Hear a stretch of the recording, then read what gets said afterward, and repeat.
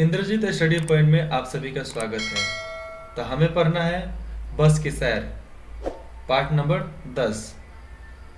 हम पढ़ रहे थे क्लास एट, दुर्भा, जिसको आप लोगों ने थंबनेल में देखा ही होगा। तो ये क्यूआर कोड है, आप इसे स्कैन करोगे तो प्रश्नों के उत्तर मिल जाएँगे और फिल इन द ब्लैंक्स भी आपको मिल जाएँगे। और जो बाकी रहेगा आप अपने परिवारजनों से और अपने शिक्षक जनों से पूछकर उसे आप बनाओ। ठीक है? एक थी लड़की। अब उस लड़की का क्या नाम था? उसका नाम था वल्ली अमाई। नाम उसका क्या था? वल्ली अमाई। आठ वर्ष की थी मतलब आठ साल की थी। उसे अपने घर के दरवाजे पर खड़े होकर सड़क की रौनक देखना बड़ा अच्छा लगता था। वली अमाई को अपना नाम भी बड़ा अच्छा लगता था। वैसे दुनिया में ऐसा कौन होगा जिसे अपना नाम पसंद ना हो? आप सभी को नाम पसंद अपना है कि नहीं है? जिसको इसको नाम पसंद नहीं है, वो कमेंट में लिखो कि, सर, मुझे अपना नाम पसंद नहीं है। सड़क पर वली अमाई की उम्र। सड़क पर वली अमाई की उम्र का कोई साथी नहीं था। और वली अमाई के उम्र का साथी सड़क पर कोई दिखता ही नहीं था। अपनी दहलीज पर खड़े रहने के अलावा वह कर भी क्या सकती थी? और फिर उसकी माँ ने उसे सख्त ताकीद सख्त ताकीद कर रखी थी कि वह खेलने के लिए अपनी सड़क छोड़कर दूसरे सड़क पर न जाएगी, ठीक है? और ताकीद मतलब होता है मतलब चेतावनी देना। उसे कठोरता से बोल देना कि तुम अपने सड़क को छोड़कर दूसरे सड़क पर नहीं जाओगे। ठीक है? सड़क पर सबसे ज़्यादा आकर्षित करने वाली वस्तु कस्बे की बस थी। और सड़क पर सबसे ज़्यादा आकर्षित करने वाला था तो कस्बे की बस थी। जैसे चित्र में आपको वो बस दिख रही होगी। जो हर घंटे उधर से गुजरती थी, एक दफ़ा आते हुए और एक दफ़ा लौटते हुए, एक बार नई नई सवारियों से लदी। हर बार नई नई सवारियों से लदी। ठीक है? तो ये देखो गुड़िया, इसका क्या नाम था? वली अमाई, जो सर अपने घर के दहलीज पर खड़े होकर सड़क को निहार रही है। बस को देखना, वली अमाई की कभी ना खत्म होने वाली खुशी का खजाना था। और बस का देखना, वली अमाई का खुशी का खजाना था जो कभी खत्म नहीं होने वाला। हर रोज वह बस को देखती और एक दिन एक नन्हे से अच्छा नन्हे से इच्छा उसने नन्हे से दिमाग में घुस कर बैठ गई। मतलब एक दिन उसके नन्हे से दिमाग में इच्छा बैठ गई। क्या बैठ गई? कम से कम एक बार तो वह बस की सैर करेगी ही। नन्हे से इच्छा बड़ी और बड़ी। नन्हे से इच्छा बड़ी और बड़ी। वली बड़ी हसरत से उन लोगों की तरफ़ देखती जो सड़क के नुक्कड़ पर बस से उतरते और चढ़ते थे। जहाँ पर बस आकर रुकती थी, उनके चेहरे, इसके दिल में सौ सौ इच्छाएँ सपने और आशाएँ मतलब सपना और आशा और इच्छा जगा देते थे। उसके कोई सहेली, सखी सहेली जब उसे अपनी बस यात्रा का किस्सा सुनाती, शहर के किसी दृश्य का हाल बताकर डिंगे हंसती तो वल्ली जल भुन जाती मतलब एकदम जलन से भर जाती। घमंडी घमंडी वह चिल्लाती और बल्ली बोलती, घमंडी घमंडी घमंडी। चाहे वल्ली और उसके सहेलियों को इस शब्द का अर्थ मालूम न था। फिर भी इसका बेधरक इस्तेमाल करती कौन? वल्ली। ठीक है? दिनों दिन, महीनों महीने। दिनों दिन, महीनों महीने वल्ली ने बस यात्रा से संबंधित छोटी मोटी जानकारियाँ गाँव से कभी कभार शहर जाने वालों और बस में प्रायः सफ़र करने, सफ़र करते रहने वाले यात्रियों की आपसी बातचीत से प्राप्त कर ली थी। उसने आप मतलब उसने आपसे, उसने अपने आप भी कुछ लोगों से इस बारे में सवाल पूछे थे और उसने कुछ लोगों से सवाल भी पूछे थे। शहर उसके गाँव से कोई दस किलोमीटर दूर था। एक ओर का भाड़ा था तीस पैसा। मतलब एक रुपए में से तीस पैसा। इसका मतलब जाने और लौटने, दोनों ओर के साठ पैसे मतलब अठन्नी से दस पैसा ज़्यादा। शहर तक पहुँचने में बस को पौने घंटा लगता था। पौने घंटा मतलब पैंतालीस मिनट। शहर पहुंचकर अगर वो बस में ही बैठी रही और तीस पैसे और चुका दे तो उसी बस में बैठे बैठे वापस भी आ सकती है। यानी, अगर वह गाँव से दोपहर, गाँव से दोपहर एक बजे चल दे तो पौने दो बजे शहर पहुँच जाएगी।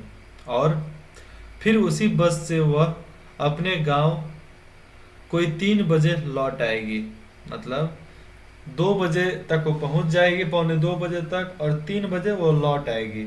ये मन में उसके चलने लगा। इस प्रकार वह हिसाब पर हिसाब लगाती रही, योजना पर योजना बनाती रही कि अब तो मैं भी जाऊँगी। एक दिन की बात है, जब यह बस गाँव की सीमा पर, गाँव की सीमा पार करके बड़ी सड़क पर प्रवेश कर रही थी, एक नन्ही सी आवाज़ पुकारती हुई सुनाई दी, बस को रोको, बस को रोको। एक नन्हा सा हाथ हिल रहा था। क्या हिल रहा था? एक नन्हा सा हाथ हिल रहा था। बस धीमी हो गई। कंडक्टर ने बाहर झुका और कुछ तुनकर, कुछ तुनक कर कहा। तुनक कर मतलब थोड़ा आँखें मटोल कर कहा, अरे भाई, कौन चढ़ना चाहता है? उनसे कहो कि जल्दी करे। सुना तुमने? उस बच्ची से बोलता है, कौन चढ़ना चाहता है बस में? उनसे कहो कि जल्दी बस में चढ़े। बस मैं इतना जानती हूँ कि मुझे शहर जाना है। और यह और यह रहा तुम्हारा किराया। मतलब उसने बोला, मुझे शहर जाना है और यह रहा तुम्हारा किराया। उसने रेजगाड़ी दिखाते हुए कहा। रेजगाड़ी दिखाते हुए बोला, ठीक ठीक, पहले बस में चढ़ो तो। मतलब थोड़ी सी अकड़ दिखाते हुए बोला, ठीक ठीक, पहले बस में चढ़ो तो। कंडक्टर ने कहा और फिर उसे धीरे से उठाकर बस में चढ़ा लिया। और वल्ली को वल्ली को बस में चढ़ा लिया, कंडक्टर ने। चा चा चा, मैं अपने आप चढ़ूँगी। चा चा चा, मैं अपने आप चढ़ूँगी, तुम मुझे उठाते क्यों? और उसने बोले, तुम मुझे उठाते क्यों? मैं अपने आप से बस में चढ़ूँगी। कंडक्टर बड़ा हंसोड़ था। कंडक्टर बड़ा हंसोड़ था मतलब हंसने वाला था। अरे मैम साहब, और उसने बोला कंडक्टर, अरे मैम साहब, नाराज़ क्यों होती हो? बैठो, इधर पधारो, उसने कहा।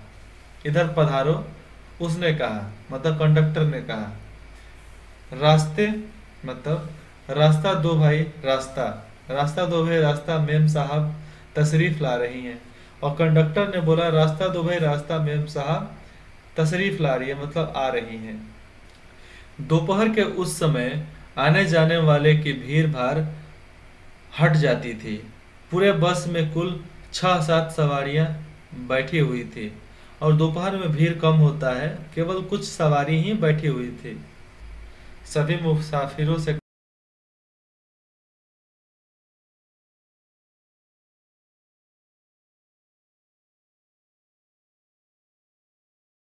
मुसाफिरों की नज़र वली पर थी और वे सब कंडक्टर की बातों पर हंस रहे थे। वली मन ही मन ही मन झेप गई। आँखें फेर कर वह जल्दी से एक खाली सीट पर बैठी। उसके बाद बोली, गाड़ी चलाए गाड़ी चलाए। बेगम साहिबा, कंडक्टर ने मुस्कुराकर पूछा। उसने दो बार सीटी बजाई, बस बस क्या? चल पड़ी, ठीक है? बस गरजती हुई आगे को बढ़ी। फिर बल्ली सब कुछ आँखें फाड़ कर देख रही थी। बल्ली सब कुछ आँखें फाड़ कर देख रही थी। खिड़कियों से बाहर लटक रहे पर्दे के कारण उसे बाहर का दृश्य देखने में बाधा पड़ रही थी। और बाहर में कुछ पर्दे लटक रहे थे। कपड़े। इसके वजह से उसे देखने में तकलीफ़ हो रही थी। वह अपने सीट पर खड़ी हो गई और बाहर झांकने लगी। अपने सीट पर खड़ा होकर वह बाहर झांकने लगी। देखो ये किस तरह देख रही है। ठीक है? इस समय बस एक नहर के किनारे किनारे जा रही थी। रास्ता बहुत ही तंग था। मतलब रास्ता में थोड़ा भीड़ था। एक और नहर थी और उसके पार तार के वृक्ष, तरकुल के वृक्ष, घास के मैदान, सुदूर पहाड़ियाँ मतलब सुंदर पहाड़ियाँ और नीला आकाश। दूसरी ओर एक गहरी खाई थी, जिसके परे दूर दूर तक फैले हुए हरे भरे खेत, जहाँ तक नज़र जाती, हरियाली ही हरियाली दिखती। ये देखो किस तरह ये बस से देख रही है, एकदम आँखें खोल कर फार फार कर देख रही है। ठीक है? पहाड़ियाँ, खाई, इधर नदी, नहर और ये हरियाली, ठीक है?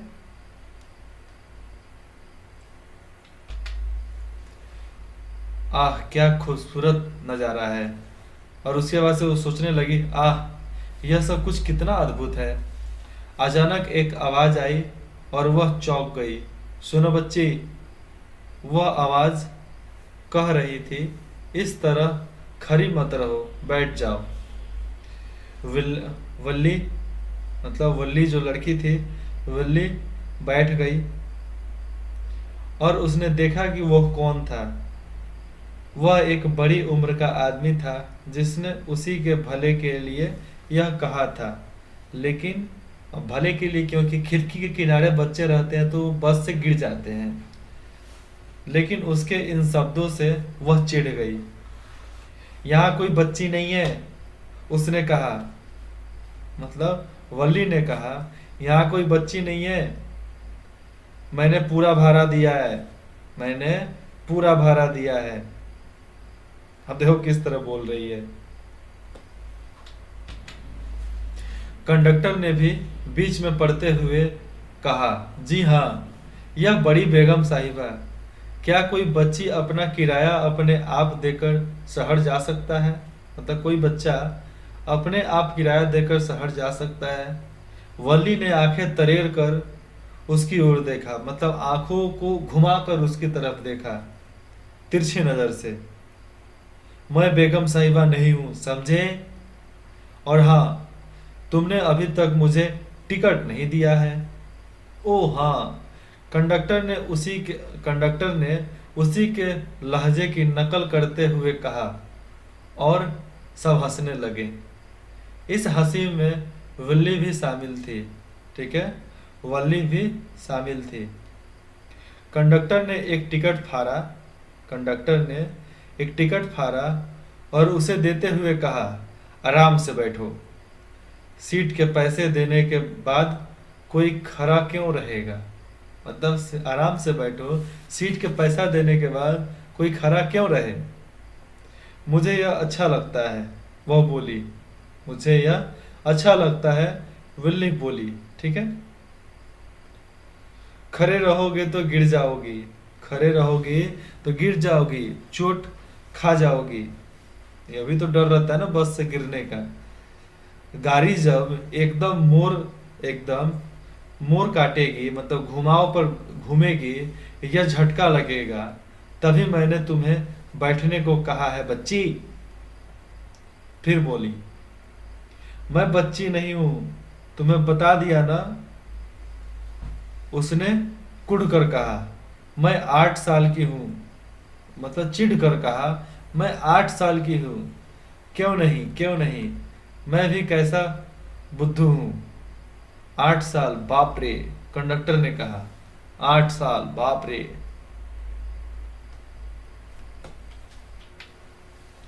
बस रुकी, कुछ नए मुसाफिर बस में चढ़े और कंडक्टर कुछ देर के लिए व्यस्त हो गया। वल्ली बैठ गई। उसे डर था कि कहीं उसकी सीट ही ना चली जाए।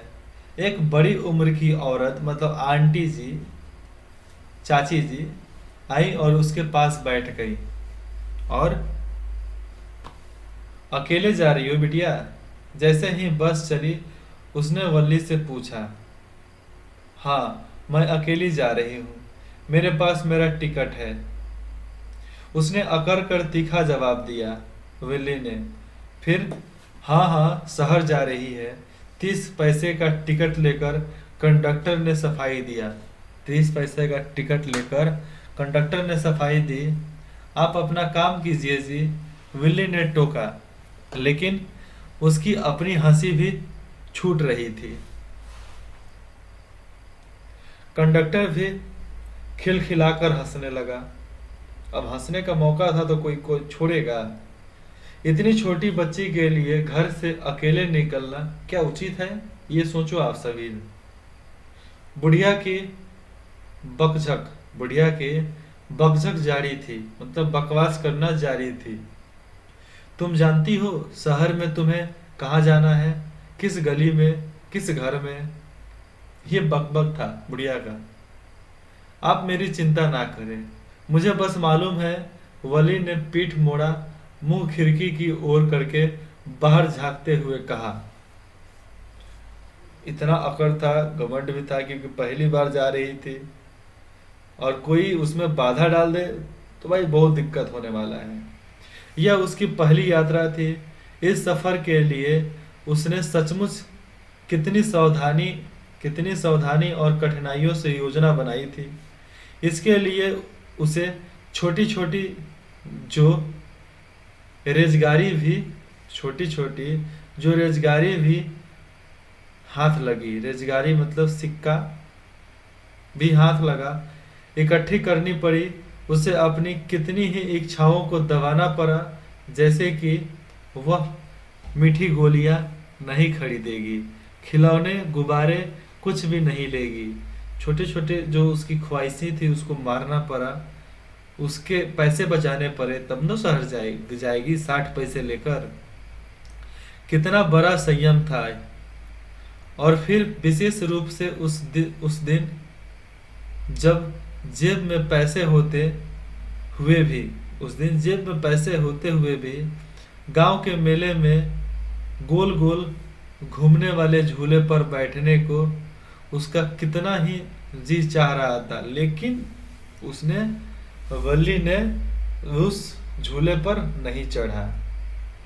शहर जाना था भाई। शहर जाना ज़रूरी था ना उसके लिए। पैसों की समस्या हल हो जाने पर उसकी दूसरी समस्या यह थी कि वह माँ को बताए बिना घर से कैसे खिसके। लेकिन इस बात का हाल भी कोई बड़ी कठिनाई पैदा किए बिना ही निकल गया और कोई बड़ी कठिनाई पैदा हुए उससे बढ़िया हल निकल गया। हर रोज दोपहर के खाने के बाद उसकी माँ कोई एक बजे से चार बजे, चार साढ़े चार बजे तक सोया करती थी।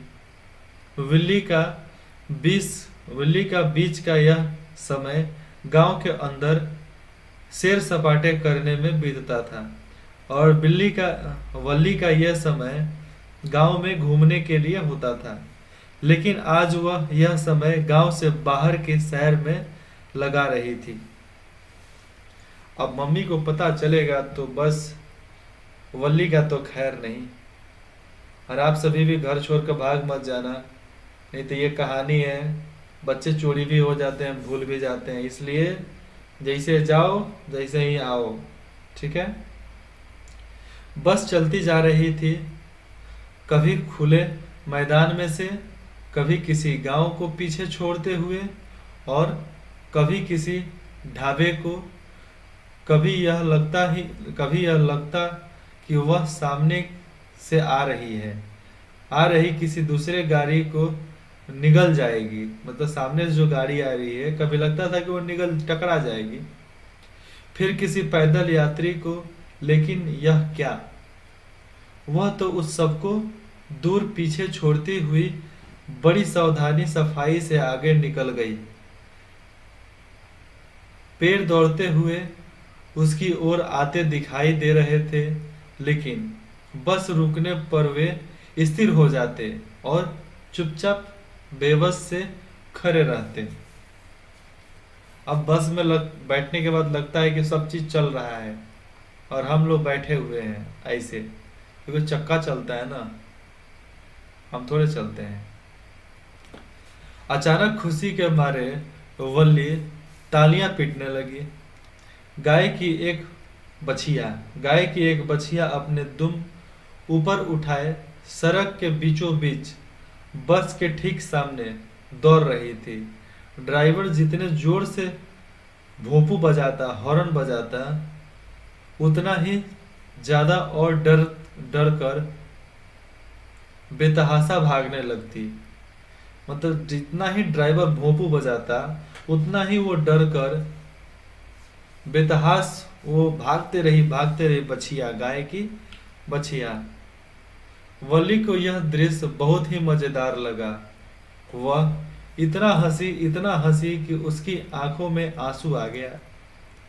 बस बस, बेगम साहिबा, कंडक्टर ने कहा। बस बस, बेगम साहिबा, कुछ हँसी कल के लिए रहने दो। आखिर बछिया एक ओर निकल गई और फिर बस रेल के फाटक तक जा पहुँची। रेल के फाटक तक चली गई दूर से रेलगाड़ी एक बिंदु के समान, रेलगाड़ी एक बिंदु के समान पास आने पर वह बड़ी और बड़ी होती चली गई। जब वह फाटक के पास से धरधराती धरधराती दंदनाती हुई निकली तो बस हिलने लगी, बस हिलने लगी। फिर बस आगे बढ़ी और रेलवे स्टेशन तक जा पहुँची। वहाँ से वह भीड़ भर के भीड़ भर के वाली एक सड़क भीड़ भराके वाली सड़क से गुजरी, जहाँ पर बहुत ज़्यादा भीड़ होता था। जहाँ दोनों ओर दुकानों की कतारें थी, फिर मुड़कर वह एक और बड़ी सड़क पर पहुँची। इतने बड़े सजी हुई दुकानें बड़े बड़े सजे हुए दुकानें, उनमें एक से एक बढ़कर चमकीले कपड़े और दूसरी चीज़ें। भीड़ की रेलम पेल भीड़ की रेलम पेल मतलब बहुत ज़्यादा भीड़ वली हैरान भौचक्की सी हर चीज़ों को आँखें फेर देख रही थी। बस रुकी और सभी यात्री उतर गए। बस रुकी और सभी यात्री उतर गए। ठीक है? ए बेगम साहिबा, कंडक्टर ने बोला, ए बेगम साहिबा, आप नहीं उतरेंगे क्या? तीस पैसे की टिकट खत्म हो गई। कंडक्टर ने कहा, मैं इसी बस से वापस जा रही हूँ। उसने अपनी जेब में से तीस पैसे और निकालकर रेजगारी काउंटर को देते हुए कहा, क्या बात है? कुछ नहीं। मेरा बस में चढ़ने को जी चाहा, बस। तुम शहर देखना नहीं चाहती।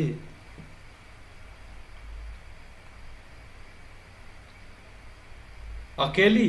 ना बाबा, ना। मुझे डर लगता है, उसने कहा। उसके हाव भाव पर कंपाउंडर को बड़ा मज़ा आ रहा था, लेकिन तुम्हें बस में आते हुए डर नहीं लगा? उसने पूछा कंडक्टर ने पूछा। ठीक है?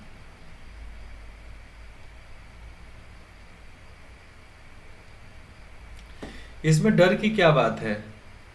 वल्ली ने जवाब दिया अच्छा तो उतरकर उस जल पकवान गृह में हो आओ कॉफ़ी पी लो। उसमें डर की क्या बात है? मैं नहीं पीऊँगी। अच्छा तो क्या मैं तुम्हारे लिए कुछ पकौड़े या चबैना चबैना लाऊं? चबैना चबा मतलब कुछ खाने चबाने के, चब, खाने के लिए, नाश्ता करने के लिए कुछ लाऊं? नहीं, मेरे पास इनके लिए पैसे नहीं हैं। मुझे बस एक टिकट दे दो। क्योंकि उसके पास तो साठ ही पैसा था आने जाने का। जल पकवान के लिए तुम्हें पैसे की ज़रूरत नहीं। पैसे मैं दे दूँगा। मैंने कह दिया, न नहीं, उसने दृढ़तापूर्वक कहा। नियत नियत, समय पर। नियत समय पर बस फिर चल पड़ी। मतलब नियमित समय पर बस फिर चल पड़ी। लौटती बार लौटती बार भी कोई खास भीड़ नहीं थी। एक बार फिर वही दृश्य, लेकिन वह जरा भी नहीं उभी। हर दृश्य में उसे पहले जैसा मज़ा आ रहा था, लेकिन अचानक। अब लेकिन अचानक क्या हुआ, भाई देखो आगे। अरे देखो, वह बछिया सड़क पर मरी पड़ी थी। किसी गाड़ी ने, किसी गाड़ी के नीचे आ गई थी बछिया। ओह, कुछ क्षण पहले जो एक प्यारा सुंदर जीव था, अब अचानक अपनी सुंदरता और सजीवता खो रहा था। अब वह कितना डरावना लग रहा था। फैली हुई टांगे, पथराई हुई आँखें मतलब बिखरी हुई आँखें खून से लथपथ बछिया पर कोई गाड़ी ने चढ़ा दिया था। ओह, कितने दुख की बात है। यह वही बछिया है ना, जो बस के आगे आगे भाग रही थी। जब हम आ रहे थे, वली ने कंडक्टर से पूछा। कंडक्टर ने सिर हिलाकर, कंडक्टर ने सिर हिलाकर बस चली जा रही थी। बछिया का ख्याल उसे सता रहा था मतलब परेशान कर रहा था। उसका उत्साह ढीला पड़ गया ढीला पड़ गया था। अब खिड़की से बाहर झाँक कर और दृश्य देखने की उसकी इच्छा नहीं रही थी। वह अपनी सीट पर जमी बैठी रही और उसके बाद उसने सी, अपने सीट पर बैठना ही अच्छा लगा और देख मतलब खिड़की के बाहर देखना ही नहीं चाहती थी। बस तीन बजकर चालीस मिनट पर उसके गाँव पहुँची। वल्ली खड़ी हुई, उसने जमाई लेकर कमर सीधी और कम, कंडक्टर को विदा करते हुए बोली अच्छा फिर मिलेंगे जनाब। अब कंडक्टर से बोल रही है अच्छा फिर मिलेंगे जनाब। वली कानन, अनुवाद बालक राम नागर। बालक राम नागर ने अनुवाद किया था, ठीक है? तो ये हमारा पाठ यहीं पर खत्म होता है। नीचे शब्दार्थ है, जो मैं बता देता हूँ। ये रहा अपना शब्दार्थ। ताकीद, निर्देश, भाड़ा, किराया, मुसाफिर मतलब यात्री। और इसके प्रश्न और उत्तर जो है, आप अपने शिक्षक के माध्यम से इसे शिक्षक के अनुसार बनाओ। ठीक है? मैं बता देता हूँ, कहानी से इसको बताना है। क्या होता अगर आप सब एट क्लास में हो, पढ़ने तो आता ही होगा। छिप छिपा कर मना करना, घमंडी, इसका मतलब आपको खुद से बताना होगा। ओके? तो चलो, आप सब अपना पढ़ाई कंप्लीट करो। और कमेंट में ज़रूर बोलना कि सर कैसे लगा, पढ़ाई कैसा लगा, ठीक है? इंद्रजीत स्टडी पॉइंट में आप सभी का स्वागत है। अगर आप सबको कुछ चाहिए, कुछ इन्फॉर्मेशन चाहिए, जानकारी चाहिए तो आप कमेंट में बोल सकते हो, ठीक है?